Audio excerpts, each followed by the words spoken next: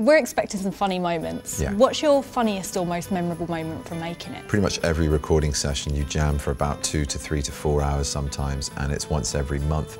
uh, Spread over nearly two years. You can go in quite grinchy. It can sort of interrupt. You know, you're working on another film, or you're having a nice time not working for a change, and then ah, it just sort of comes out of nowhere. And then once you're doing it, it's so much fun. It's really genuinely a lot of fun. The very funny people at Illumination, including our director Scott. You know, whether it's whether it's just cracking a scene or a moment of character, or just shooting the breeze and catching up with one another, it's always a good time. That's such a long time you've spent being the Grinch. It is, but uh, but like I say, with these weird gaps, sometimes more than a month, sometimes three months difference and uh, gap rather. So it's it's a strange one. I have been in for a long time. Does that make you feel like particularly attached to that character? Yeah, a little. Yeah, and to, and to see it all come together is is a sort of wonderful moment because you just think it's never going to end. You're going to be called back in for another session, and, and maybe I will be before the film comes out. It's been a wonderful role to play. Those Dr. Seuss lines must be a bit tricky to get your mouth round. They are, but I think what's good about them is that they have, like our good man Shakespeare, sort of immediacy because of their rhyme. They were written partly to encourage, you know, early uh, literacy. They do that. All of them do that. Whether it's you know the places you'll go or um, any number of the stories. I don't know. It's part of the charm and the magic of it actually. And uh, there are some pretty tongue-twisting additions that we've added to the original. Did that make for any blooper moments? Do you You remember any particularly? yeah, uh, yeah, constantly making mistakes. One of the joys of being in a booth with that amount of time is that you know you can you can constantly right your wrong. What's it like to take over that iconic character? This is a very different cut of the same idea. It's a very different spin on the original tale, and it's an animation, pure and simple, in a very modern sense, and rooted in some kind of a recognisable reality of ours, as well as being as um, crazy as a Dr. Seuss story should be. It's got a lot of lot of humour, a lot of immediacy, a lot of things that people will recognise, but also fantastical things that will transport people to another place. How can we expect this version to be different to the ones we've seen before? It's very funny, it's moving, just endlessly imaginative, and the level of artistry is phenomenal. The energy of it is sort of unsurpassed, I think. It's just incredible drawing, incredible artistry, incredible technicians making these amazing environments and characters come to life. Great cast, and a very, very funny script. Now, everyone has their own way of doing Christmas.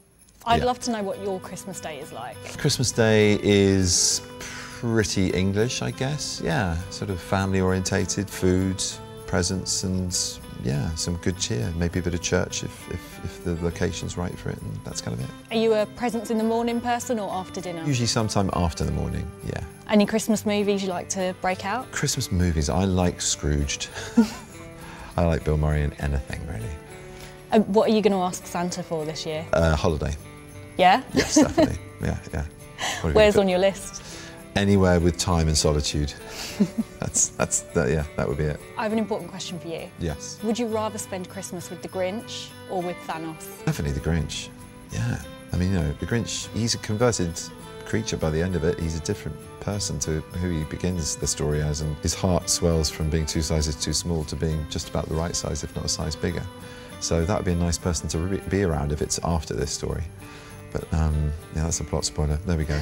Thanos, mm, not so much. Yeah, I was going to say spoilers. Yeah.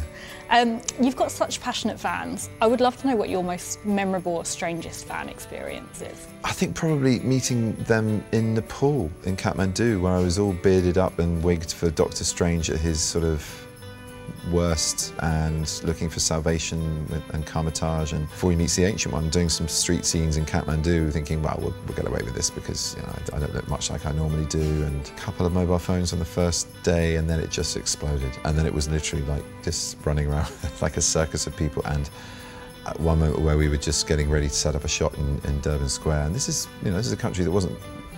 It was, it was not long after the devastating earthquake, so to see that much kind of joy literally in the same eye line as some of the temples themselves in that part of Nepal that had been ruined by the earthquake was amazing and surprising and just bemusing. Amazing to think, I mean, the reach of Sherlock in particular just is incredible. What a juxtaposition as well. Yeah, yeah, mad, you know, and, and, and especially when I was trying to be this guy who's all alone, cut adrift, no one knows who he is. I'd be out on a limb and then everyone's sort of chanting my name in between takes. Very, very, very strange. I'd love to know what you're a super fan of. What I'm a super fan. I've never been obsessed about things. I've, I've kind of been a bit of a butterfly. It's the same with comics and it's the same with actors and performances. I think I'm kind of, I am obsessed with Paul Thomas Anderson. I'm obsessed with Daniel Day-Lewis as well. I think they're both extraordinary artists in our world. You know, I'm obsessed with Olivia Colman. I'm obsessed with quite a few people, I suppose. I haven't collected anything. I haven't collected Olivia Colman.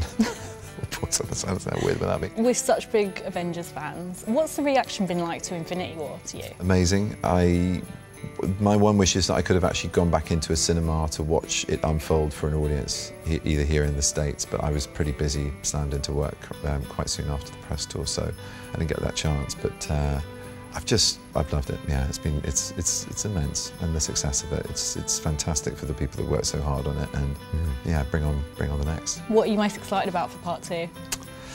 All of it. Not being able to keep it secret? yeah. People knowing what the hell's yeah, going on, exactly. probably, maybe.